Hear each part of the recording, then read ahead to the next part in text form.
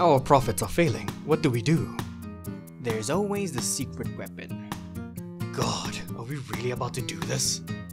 Welcome to Femboy Hooters! May I take your order?